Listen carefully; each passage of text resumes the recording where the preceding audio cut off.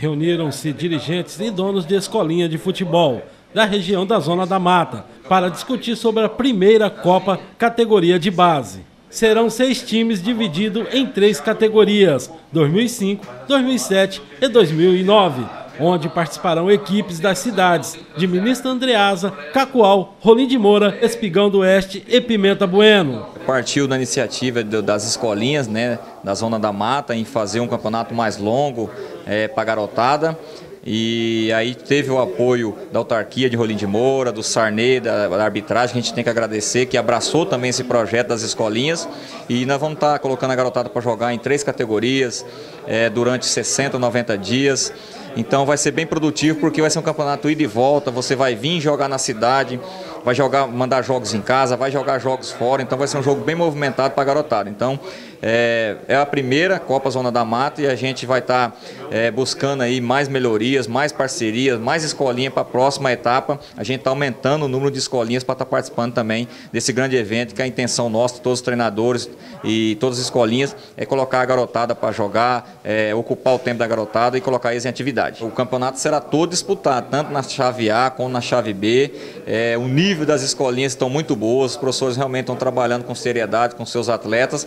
Então hoje não tem favorito. Eu acho que cada, cada jogo vai ser uma história mesmo e aquela escolinha que se preparar, que treinar melhor, vai estar tá podendo chegar na frente. Mas vai ser bem competitivo que todas as escolinhas estão no mesmo nível. É uma competição que vem só agregar os trabalhos que nós vemos fazendo dentro das escolinhas, tanto Cacoal, é, Espigão, Rolim de Moura, a gente está sempre competindo com esses meninos e nós temos que colocar as crianças para competir. Com certeza eles só têm a ganhar, o município tem a ganhar, as crianças dos nossos municípios ficam super motivadas e a gente vai brigar para ser campeão. A gente vai sempre estar tá brigando com as crianças para ser campeão, com lealdade, respeitando sempre os amigos, que são todos os professores das escolinhas, mas com o intuito de, de chegar às finais para colocar nossas crianças sempre em primeiro plano. Pensamos e idealizamos esse campeonato que vai ser de suma importância, jogos de ida e volta, né? Uma coisa muito boa, né? Vai dar oportunidade para todos as categorias, todos os atletas, né? E, e, é isso aí, a gente vai entrando em mais uma para poder competir, né? Escolinha nova, menos de um ano hoje, né? De atuação e graças a Deus está sendo muito satisfatório. E é mais uma honra poder participar de mais uma competição, sendo aqui no município de Rolim de Moura. Agradecer também o Zanetti, né? Uma das, uma das pessoas que junto a gente aí puxou a fila junto com a autarquia de esporte aqui de Rolim de Moura e vamos seguir firme nessa competição. Apesar que o nosso projeto é um projeto social, né, que atende várias crianças carentes, mas também no incentivo e na prática de esporte. Parabéns aí pelo trabalho e boa sorte na Copa. Muito obrigado. É de suma importância, porque se trata de categorias de base. Né? São três categorias, sub, é, 2007, 2005, 2009.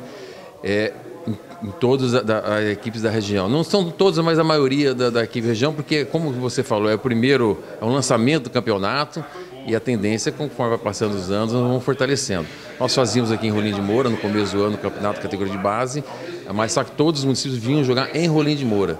E nós sabemos a dificuldade é, financeira das equipes ficarem se deslocando, né?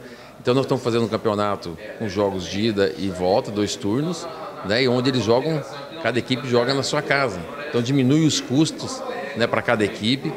E eu só tenho que agradecer a parceria, porque os, os nossos dirigentes aí estão todos imbuídos para fortalecer a categoria de base, vieram todos reunidos hoje aqui na autarquia de esportes. E o que eu sempre falo, a gente tem que ter parcerias. Né? Então todo mundo tem parceiro, não só pode depender do poder público. Tem que ser o poder público, privado, os colaboradores, então todo mundo junto é, é, se torna forte. Agora nós fizemos o sorteio né, da, da, das duas chaves. Agora, durante essa semana, eu já vou fazer o regulamento, já foi discutindo o regulamento, só vou colocar no papel o regulamento, fazer a tabela, né? E, mas tá, a previsão é 24 de agosto. Né? Os jogos já inicia, não é previsão, já está combinado com as equipes de começar dia 24 de agosto, que é um sábado. Né? Agora eu vou fazer a tabela, certinho e durante a semana eu vou estar divulgando aí, passando para vocês.